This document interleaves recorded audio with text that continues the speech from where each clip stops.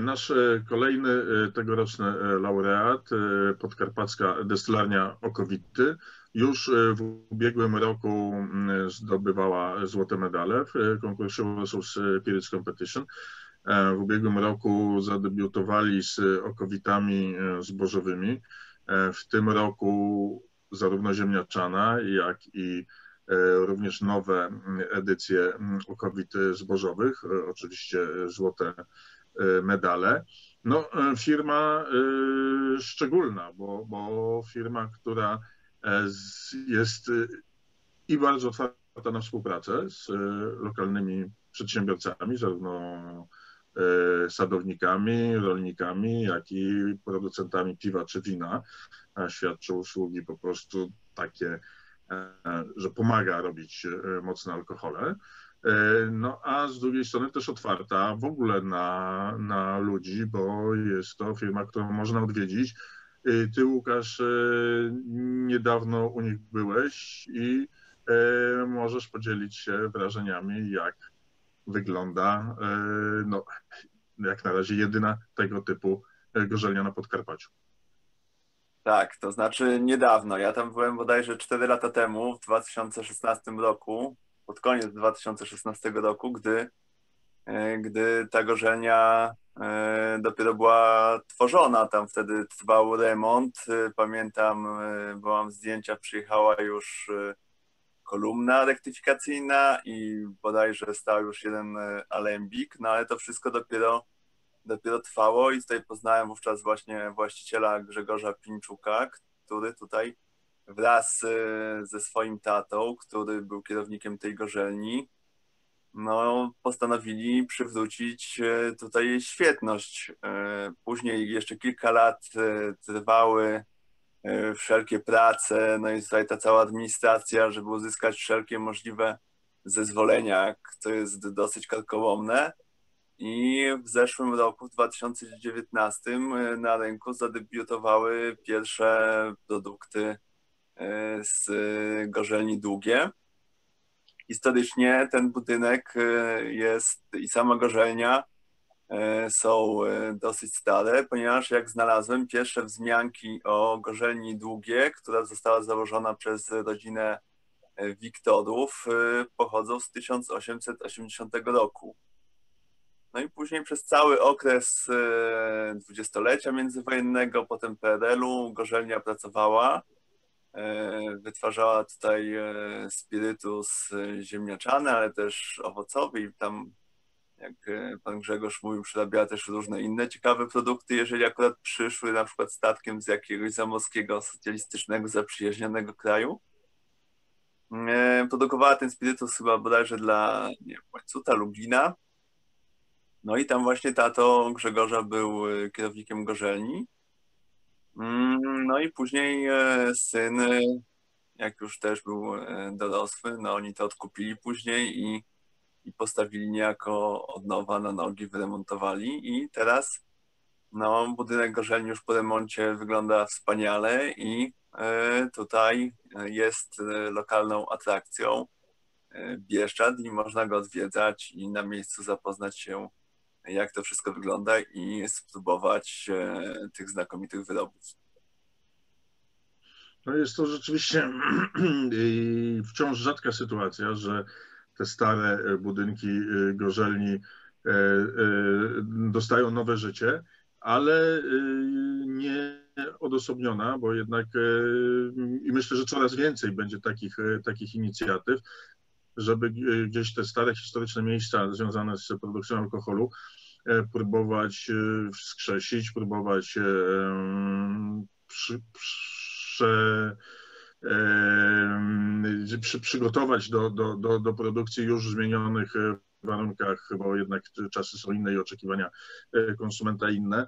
Mamy tutaj przykład chociażby destylarni Wolf and Oak, która kończy remont swojej e, gorzelni rolniczej na Śląsku. Mamy to Podkarpa, mamy to Podole Wielkie, które też operuje z kolei na, nad morzem i, i też w budynkach starej gorzelni rolniczej. No wcześniej oczywiście Krzesk i, i, i to wszystko, co, co Chopin tam produkuje, więc no, takich przykładów myślę, że będzie coraz więcej. To jest bardzo fajne. Natomiast jeśli chodzi o to, co Grzegorz Pińczuk tam robi, to, co ocenialiśmy, czyli co mieliśmy w kieliszku, no, nie, nie wahałbym się powiedzieć, że jest, jest to naprawdę w tej chwili wysokiej e, klasy ekspert, e, który potrafi wydobyć ze zboża, z ziemniaka, no jego unikatowy e, charakter aromatyczny, smakowy, bo mieliśmy tutaj pszenicę, czy mieliśmy żyto, to były, to były zboża, które bardzo się między sobą różniły w tym w, w smaku, w aromacie. Tak, no moim zdaniem no prym wiedzie ziemniak, potem wszelkie zboża i później e, są te owoce. No, ja uważam, że mimo wszystko w produkcji alkoholu, czy to ziemniaczanego, czy zbożowego, w tych gorzelniach rolniczych, no to doświadczenie było nabywane no, przez pokolenia, tak, i przekazywane. W owocach E, uważam, że mimo wszystko takich tradycji e, nie ma, ponieważ te owoce w Polsce mimo wszystko no nie były przerabiane przez gorzelnie rolnicze, chyba że wyjątkowo jak jabłka tam na przykład obrodziły w danym roku i nie było co z nimi robić. Ale to nie był taki proces e, stały, tak, jak w Czechach, na Węgrzech i tak dalej. No ale to nie próbuje, ten się nie, uczy, nie, nie uczy i no tutaj E, na pewno te pierwsze próby też są udane i może być tylko lepiej. No ja jak sobie odświeżyłem produkty tutaj, które były w konkursie i jakie oceniałem, no to muszę przyznać, że też zrobiły na mnie wrażenie. E, bardzo mi się podobało, że one były charakterystyczne, że one były jakieś, konkretne i tam można było zarówno doszukać się i tego żyta, i tego jęczmienia i moc była troszeczkę większa, więc był fajny taki pazurek, a jednocześnie jakby to zboże nie dominowało i można było znaleźć tam sporo różnych innych ciekawych nut, bo tam i jakiś pamiętam, że przy życie y, był jakiś e, lakier, jakieś owoce, e, kwiaty. To był taki alkohol, przy którym można było troszeczkę posiedzieć i faktycznie e, no nie tylko rozkoszować się smakiem, ale też zapachem, no co przy okowicie nie zawsze jakby jest spójne.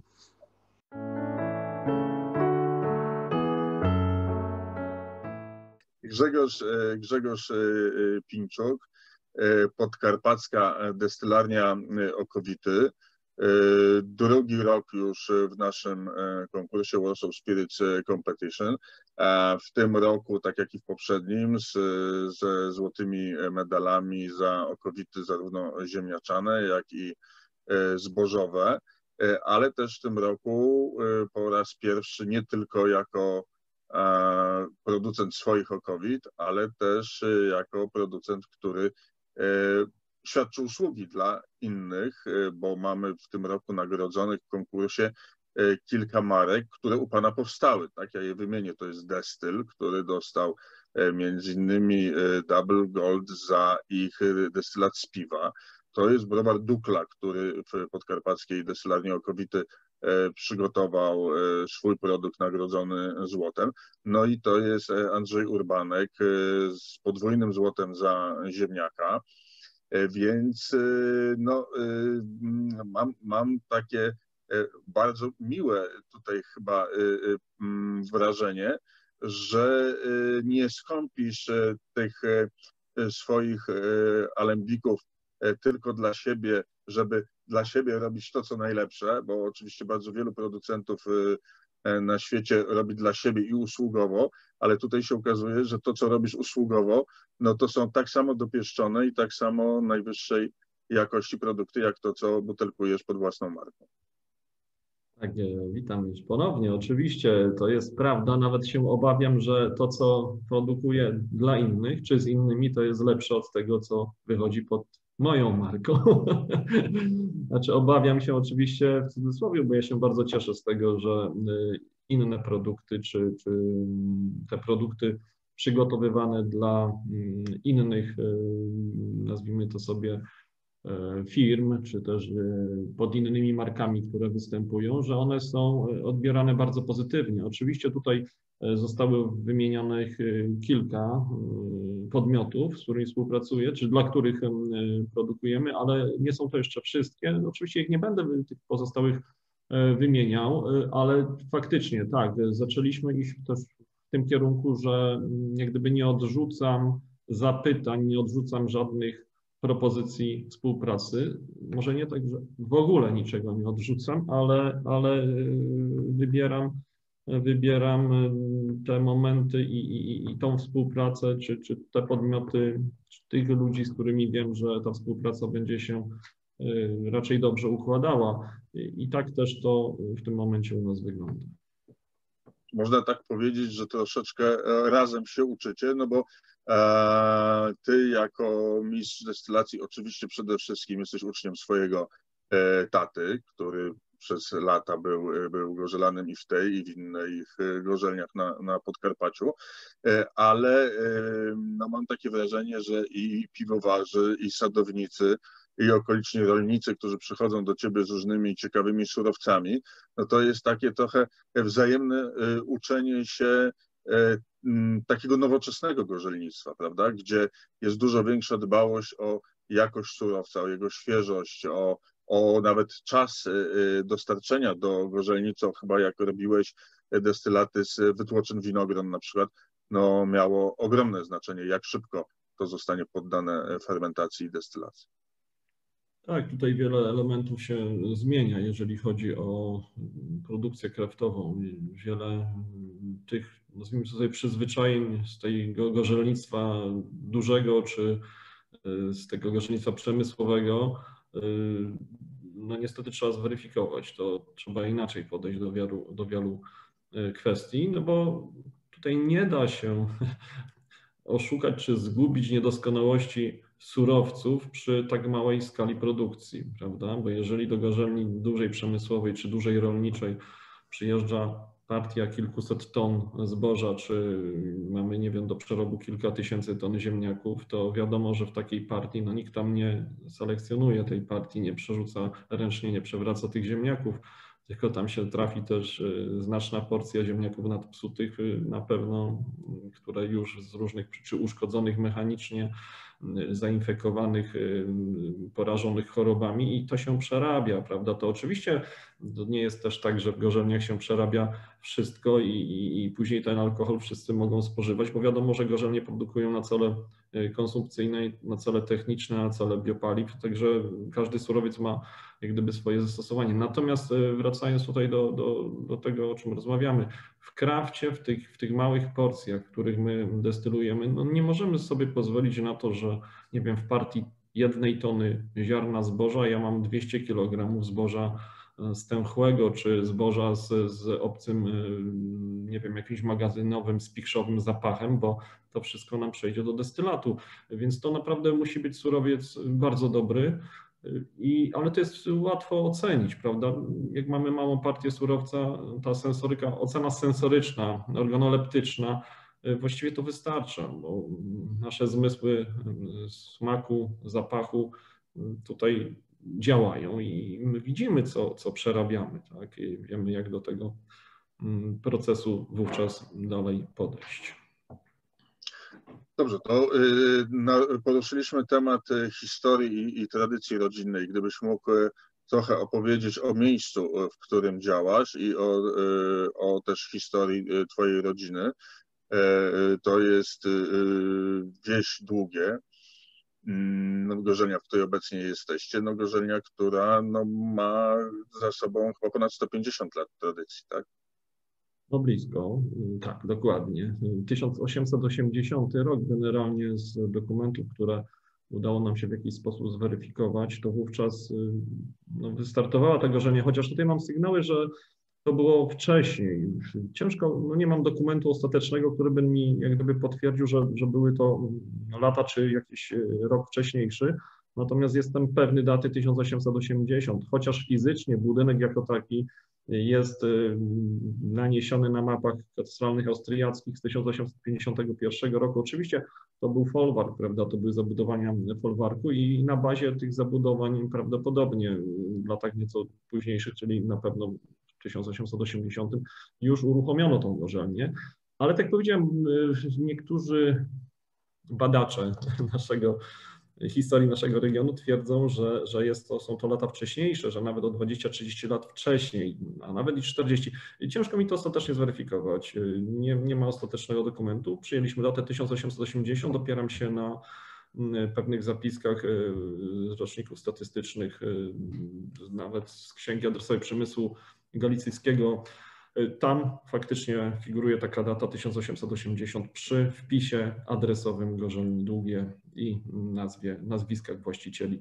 Także przyjęliśmy tą datę i myślę, że jest to data na pewno dobra. Wolałem tą pewną datę przyjąć niż niepewną wcześniejszą, chociaż dla tradycji, dla historii wiadomo, że byłoby to lepsze, ale, ale nie chcieliśmy tutaj też iść na skróty, żeby ktoś nam nie zarzucił, że jednak sobie przypisujemy, dopisujemy jakieś kolejne lata do tradycji Gorzelni. Tak, jest to miejscowość długie, y, gmina Zarszyn, powiat Sanot, Podkarpacie.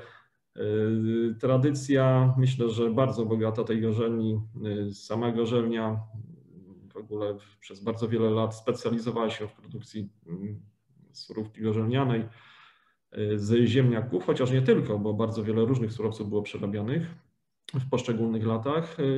No i to, że z tą gorzelnią w jakiś sposób jestem cały czas związany, tu generalnie, tu generalnie y, to zasługa mojego taty, tak, który, który był kierownikiem przez wiele lat tej gorzelni. I później w kolejnej gorzelni, właścicielem kolejnej gorzelni, a ja się stałem dzierżawcą tej i później wykupiłem, y, czy wykupiliśmy mm, tą nieruchomość.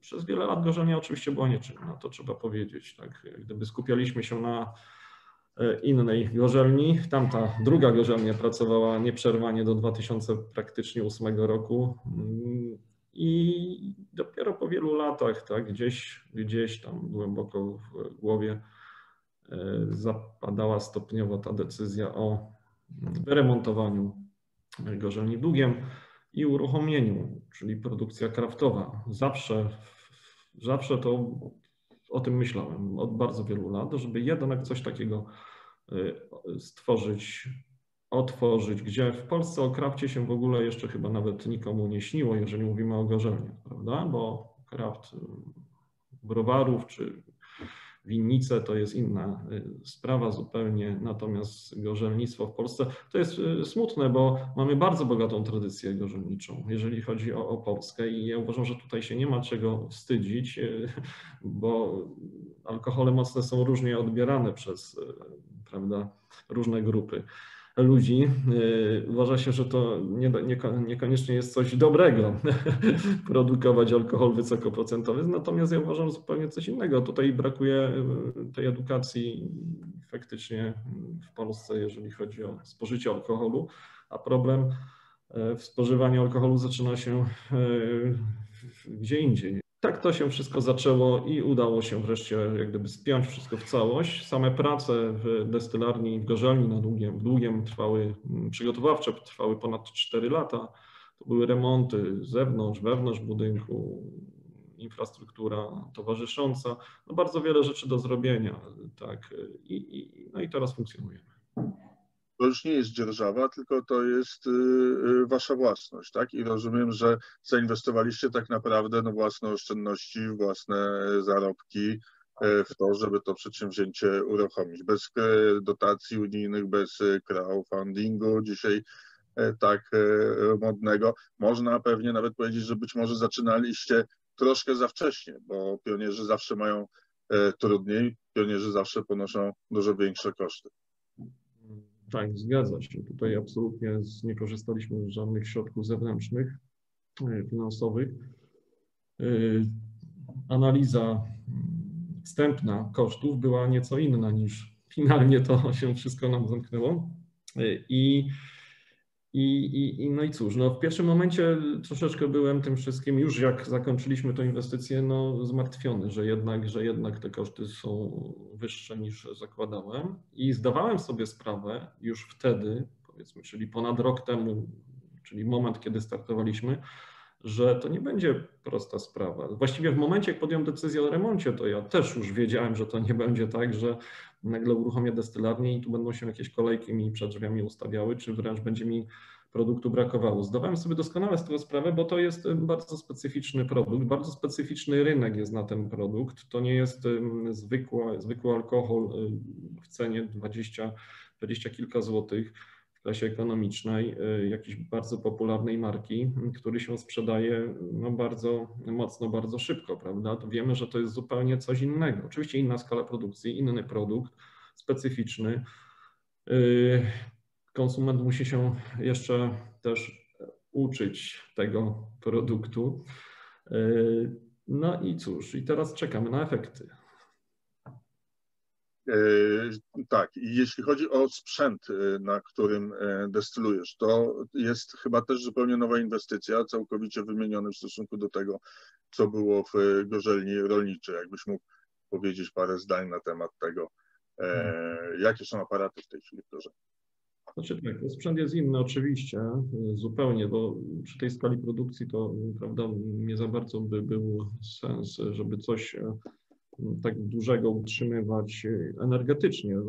Duże straty byłyby energetyczne względem tego, co by się w ciągu dnia destylowało, a zresztą wcześniej był tam aparat do destylacji, do destylacji e, ciągłej, e, więc teraz mamy mm, urządzenie, destylator mm, czy zestaw cały do destylacji okresowej, prawda, jest to zestaw e, alembikowo-kolumnowy oraz mamy dwie wieże destylacyjne do destylacji ciągłej, ale one są cały czas jeszcze nie niepodłączone. One w tym momencie e, są przygotowane do uruchomienia, natomiast czy to, kiedy to nastąpi, ciężko mi powiedzieć. Przy czym tam z kolei na tych dwóch wieżach destylacyjnych do destylacji ciągłej już będziemy uzyskiwali, e, czy możemy uzyskiwać właściwie rektyfikat, chociaż w zależności gdzie będziemy, na jakiej wysokości odbierali końcowy, finalny produkt, bo możemy dalej odbierać destylat, możemy e, przygotować z tego kowita, a możemy odbierać rektyfikat.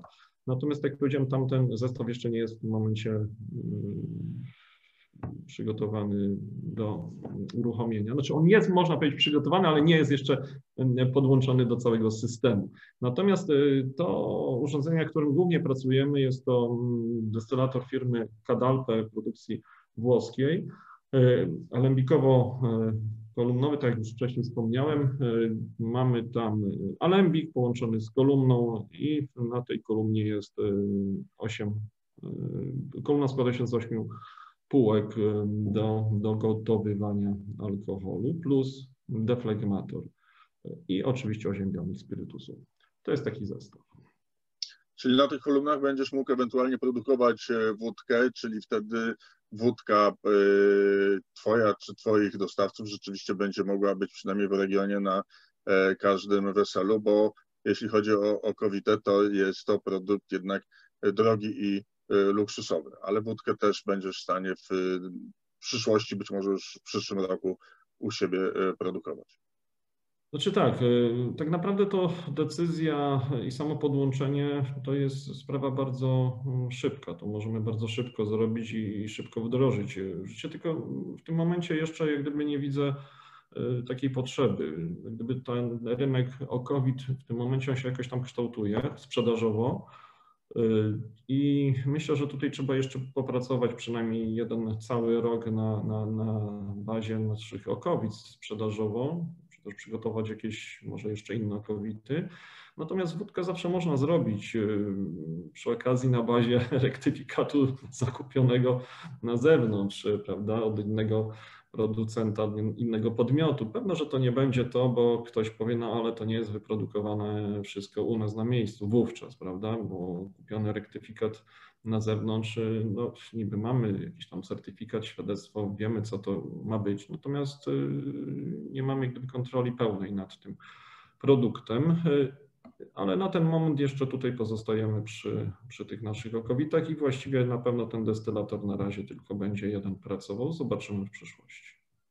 Dobrze, to powiedz mi, jeśli chodzi o okowity, co Twoim zdaniem jest najważniejsze, albo może nawet nie najważniejsze, ale jak powstaje dobra okowita? Bo wcześniej mówiliśmy sobie, że oczywiście ze złego surowca nie zrobi się nigdy dobrego alkoholu. Ale surowiec to jest jedno, surowiec dostarcza sadownik, dostarcza rolnik, ale ty w momencie, y, kiedy przyjeżdża do ciebie zboże, albo przyjeżdżają ziemniaki, albo przyjeżdżają owoce, to co y, z nimi robisz? Jak postępujesz? Jakich y, używasz drożdży? Jak fermentujesz? Jak to destylujesz? Jak to przechowujesz potem, żeby uzyskać tą wysoką jakość, jaka jest w, w butelkach twoich produktów?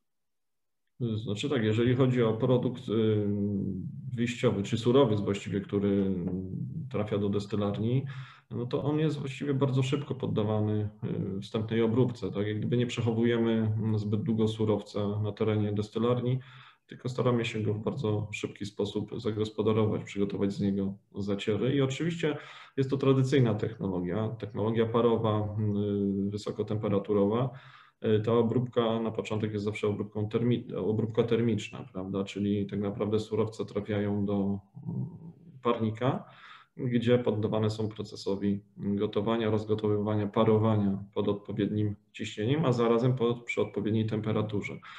E, natomiast to są zboża mm, w ten sposób traktowane, natomiast owoce mm, możemy poddawać wcześniej rozdrobnieniu na specjalnym rozdrabniaczu mechanicznym? Możemy, ale nie musimy. To w zależności jaki to jest e, surowiec, jeżeli mówimy o owocach. Jest, to jest surowiec bardzo delikatny, to tam nie ma co się już z nim e, w rozdrabnianie bawić. Natomiast jak to jest surowiec mniej delikatny, możemy go rozdrobnić. Oczywiście nie, nie rozdrabniamy owoców e, pestkowych typu mm, śliwa, no bo tutaj jest kwestia najpierw wydrylowania, czyli musimy usunąć pestki. To też y, u nas przebiega y, w trakcie gotowania surowca. Nie używamy żadnej drylownicy mechanicznej na samym początku. Oczywiście mamy też taką, tylko ona nie do końca sobie mm, tutaj radzi z tą śliwą. Śliwki są, mogą być bardzo różne, różnej wielkości. Pestka może być różnej wielkości, natomiast ta drylownica może bardziej, więcej uszkodzić pestek i pozostawić w całej masie niż faktycznie oddzielić. W związku z powyższym zrezygnowaliśmy z tego na rzecz y, oddzielenia po wstępnym y, przygotowaniu tejże śliwki, prawda? Oddzieleniu tej pestki. No i cóż, po tej obróbce termicznej Y, oczywiście w zależności teraz o czym będziemy rozmawiali, czy mówimy o surowcach skrobiowych, czy o surowcach, które mają w swoim składzie cukry proste, bo tam, gdzie jest skrobia, no to musimy przeprowadzić hydrolizę, proces hydrolizy tej skrobi, proces cukrzania, y, czyli proces zacierania. To jest zupełnie inna mm, bajka w gorzelni. A jeżeli są to surowce, które mają cukry proste w sobie, to oczywiście ten proces y, wygląda nieco inaczej. Jest nieco szybszy, bo już nie występuje proces y, zacierania, prawda? Czyli jest jak gdyby pominięty pewien etap. Y, tak czy inaczej, obróbka jednej partii surowca, czyli około tej jednej tony surowca, to jest około 2 do 3 godzin, jeżeli tutaj to wszystko sobie policzymy. No i później sam proces przed zadaniem drożdży to jest kolejny czas, bo trzeba schłodzić tą całą masę. Prawda? Znaczy to właściwie możemy tu wliczyć łącznie, ale zadanie drożdży mm, też trzeba zwracać uwagę na temperatury, y, w których będziemy zadawali te drożdże oraz samo przygotowanie rozczynu drożdżowego i dobór drożdży. To jest też kolejna kwestia. I to są twoje własne drożdże? Masz katkę drożdżową, przygotowujesz drożdże, czy kupujesz gotowe? Znaczy to jest tak, że możemy przygotowywać te drożdże. Właściwie jesteśmy przygotowani na, na wszystkie ewentualności, czy też rozmnażanie na miejscu w, w katkach drożdżowych y, tych drożdży, czy też y, przygotowywanie nawet słodu do, do procesu zacierania też to możemy robić. My tego, powiem szczerze, w tym momencie nie robimy.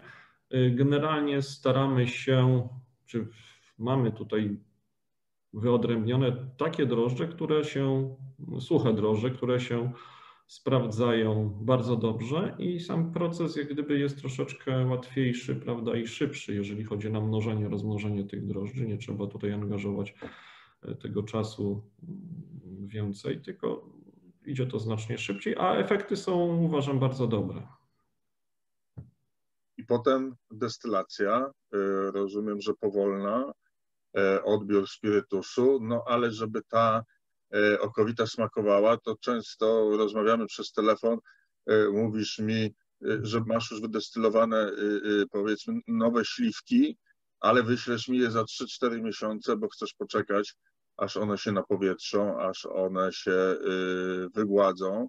Myślę, że to jest taki ważny element przy produkcji, zwłaszcza owocowych destylatów, który często tacy młodzi jak ty producenci najchętniej by pominęli, bo chcieliby już wprowadzać produkt na rynek. Ty masz sobie taką cierpliwość, że, że czekasz, tak? Dopiero jak uznasz, że to już jest e, dostatecznie delikatne, jeśli chodzi zwłaszcza o owoce, no to dopiero wtedy decydujesz się ewentualnie zabutelkować i to chyba też nie wszystko, tylko jakieś tam najpierw pojedyncze partie zobaczyć, poczekać jak to przyjmie konsument. Tak, tutaj jeżeli chodzi o samą destylację, to może jeszcze zostaje nam po drodze ten moment fermentacji, prawda? To, to jest jeszcze bardzo ważny, yy, ważny etap w całym procesie, yy, ponieważ yy, tutaj nie możemy też w jakiś sobie sposób zaszkodzić, ponieważ wszystko możemy idealnie przygotować do tego momentu, a niestety w procesie fermentacji coś pójdzie nie tak, albo zbyt długo ten, ten proces fermentacji będzie przebiegał. To jest też bardzo niedobre, bardzo niewskazane w gorzelnictwie wówczas zaczynają się tam nam pojawiać e, różne niespodzianki e, w profilu e, fizyko, całej fizy, fizykochemicznym destylatu, prawda? Przy analizie może, może się pojawić wiele rzeczy, które, które w destylacie nie powinny występować w, w pewnych ilościach, że nie powinna być przekroczona norma pewnych rzeczy, ale one się wówczas pojawią, jeżeli faktycznie niewłaściwie przygotowujemy, czy przygotujemy cały zacier, czy też y, niewłaściwie będzie prowadzona ta fermentacja, to znaczy przede wszystkim zbyt długo albo na, nie, zbyt na nieodpowiednich temperaturach. Więc to są te kwestie, które o tym decydują. Oczywiście surowiec to jest ta sprawa najważniejsza, ale to pomijam, bo tutaj zakładamy, że ten surowiec zawsze musi być no, najlepszy. Sama destylacja, y, no to już jest jak gdyby ten moment, na który zawsze czekamy, bo to jest najprzyjemniejszy moment, uważam, w całym procesie. Nawet y, nie cieszy mnie tak sprzedaż później tego produktu, jak sama destylacja tego produktu, y, bo każdy zacier, y, no, każdy surowiec inaczej się zachowuje później w destylatorze. w zależności ile mamy jeszcze alkoholu prawda, w tym zacierze. To później ten proces przebiega albo bardziej stabilnie, albo mniej stabilnie. I najprzyjemniejsze do destylacji oczywiście są zboża, bo jak już ten proces wejdzie na swoje, ustabilizują się pewne parametry destylacji temperaturowe, no to generalnie y, przez te dwie godziny to się tylko bacznie obserwuje, nie trzeba bardzo mm, aż tam się tak denerwować przy tym procesie destylacji. Y, kontrolujemy to cały czas, ale, ale jest to bardzo dla nas takie wygodne. Natomiast w procesie destylacji y, zacierów, tych, które mają znacznie mniej w sobie alkoholu, no to tutaj już ta cała destylacja no to wymaga od nas większego zaangażowania, skupienia oraz uwagi. Y, I to tak przebiega. Natomiast jeżeli chodzi już o sam produkt finalny, czyli ten destylat, który mamy w odbieralniku, a później już w magazynie, no tak, no naj, najlepiej jest, jeżeli taki destylat przez pewien czas e, będzie odpoczywał po tym oddestylowaniu. Jaki to ma być czas, no to trudno powiedzieć e, tak dokładnie. Tutaj możemy bardzo różne, to są bardzo różne szkoły na ten temat, każdy może powiedzieć coś innego. W przypadku zbóż uważam, że ten odpoczynek destylatu może być krótszy. W przypadku owoców, bo powinien być nieco dłuższy. I w, w przypadku ziemniaka mm, myślę, że też. Aczkolwiek ziemniak tak naprawdę po oddestylowaniu, właśnie w tym samym dniu, kiedy go destyluję, to ja już y, wiem, co to jest za destylat i jaki on będzie ostatecznie za miesiąc, za dwa czy za trzy. Jeżeli on już jest w pierwszym momencie dobry, a ja tylko to mogę wyczuć na odbieralniku na, w miejscu, gdzie jest zamontowany pływak w tym odbieralniku. To tylko i wyłącznie ta mikroszczelinka, która po poruszaniu tym pływakiem daje mi jakieś tam nuty na zewnątrz zapachowe, tylko potem mogę to ocenić i, i, i, ja już wiem w pierwszych momentach, czy to. Bo ziemniak jest specyficzny, dlatego o tym ziemniaku mówię, bo on, lotność tych, tych te zapachy w ogóle są wszędzie wówczas i, i bardzo łatwo je wychwycić, prawda? I wtedy już wyczuwamy, czy to, czy to jest ziemniak ziemniaków, czy to nie jest ziemniak ziemniaków. I, więc to są te momenty bardzo ważne. No i później oczywiście odbiór z odbieralnika i przekazanie do magazynu. No to wówczas już mamy e, funkcjonariuszy służby celno-skarbowej na miejscu. Możemy wreszcie rozplombować odbieralnik. Otwieramy główny e, właz z odbieralnika i, i, i to wtedy już jest ten moment, gdzie już jestem przekonany, czy jesteśmy przekonani, że tak, że wszystko poszło, poszło dobrze przekazanie do magazynu i tam oczywiście mm, wstępne zestawienie. Możemy to zrobić e, za chwilę od razu, wstępne zestawienie z wodą, albo zostawiamy go jako koncentrat, czyli nic nie robimy i on sobie faktycznie leżakuje, odpoczywa w zbiorniku, aż do decyzji, kiedy będziemy go zestawiali ostatecznie i rozlewali. A na jakim etapie dodajesz e, wody? Czy e, dopiero przed butelkowaniem, czy w momencie, kiedy po destylacji ma to trafić do zbiorników właśnie na ten okres odpoczynku? Czy i, i, i, i wtedy, i wtedy? Oczywiście można robić i tak, i tak, natomiast zestawienie tuż przed rozlewem jest nie do końca dobre. Dlaczego? Bo, ponieważ sam proces łączenia wody z alkoholem, no, nam się wydaje, że on przebiega gwałtownie i nie ma problemu. Tak? Nic nam się nie rozdziela, bo to nie jest łączenie oliwy z wodą, tylko jest to łączenie e, alkoholu etylowego z wodą, więc pięknie nam się to łączy, to jest fakt. Natomiast ta stabilizacja po połączeniu, ona, ona trwa kilkanaście godzin. E, w ogóle destylat w momencie, jak go łączymy z wodą, to on się rozgrzewa, to wiemy, co chodzi reakcja, która uwalnia pewną porcję energii cieplnej. I samo zmierzenie mocy w takim momencie termoalkoholometrem atestowanym jest też wyzwaniem, bo każdy pomiar, mamy właściwie kilkanaście termoalkoholometrów atestowanych aż, żeby y, sobie porównywać nawet te wyniki. Y, za każdym razem, kiedy pobieramy próbkę w przedziale godzinowym czy dwugodzinowym, to te wyniki są inne. Po prostu, bo on, ten proces łączenia alkoholu z wodą cały czas przebiega. Czyli w pierwszym momencie, jak ja zestawię to załóżmy do 45%, tak, jakiś destylat, okazuje się, że on za powiedzmy 2-3 godziny ma 44,8. Ja wiem, że ktoś powie, że to jest niewiele, no ale to są już dwie dziesiąte. za kolejną godzinę może być kolejna jedna dziesiąta w dół, no i to już jest wtedy zaczyna być problem, tak, bo jeżeli to zestawienie ma być 45, no to powinno być 45 plus minus 0,2, bo to jest jeszcze ten błąd akceptowalny. Y, więc to zestawienie przed, tuż przed rozlewem to jest tak niekoniecznie pożądane. To jest tak, jeżeli już taka konieczność jest. Natomiast faktycznie wstępne zestawienie, wstępne, nie, nie ostateczne, wstępne zestawienie wcześniej w magazynie destylatu jest znacznie lepsze, czyli schodzimy z tej mocy, załóżmy 95 w przypadku zbóż, jeżeli mam tak oddestylowane zboże, schodzimy wstępnie do około tam powiedzmy 60 czy 55% i to sobie dalej odpoczywa. Natomiast samo doprawienie końcowe może nastąpić już przed samym rozlewem i oczywiście wtedy musimy odczekać jakiś czas na ustabilizowanie się mm, tego połączenia i możemy przystąpić do rozlewu.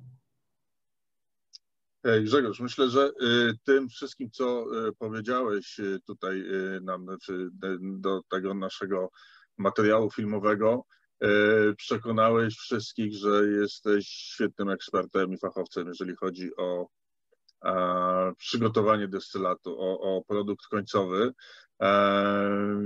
Podziwiam Twoją pasję i E, no, wielką wiedzę na temat tego, jak e, e, zrobić dobry alkohol, a przecież cały czas pewnie się z tym zgodzisz, że też ciągle się cały czas uczysz nowych, nowych rzeczy. Także gratuluję tego, co już osiągnąłeś i myślę, że spotkamy się jeszcze nie raz z nowymi pomysłami i nowymi produktami.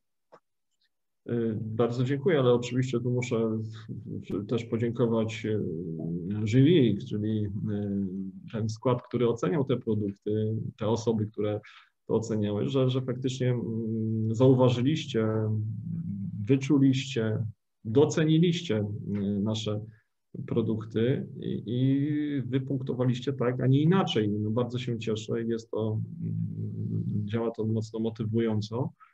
E, zobaczymy. Mam nadzieję, że będziemy nadal funkcjonowali i działali. Także bardzo dziękuję. Dziękuję.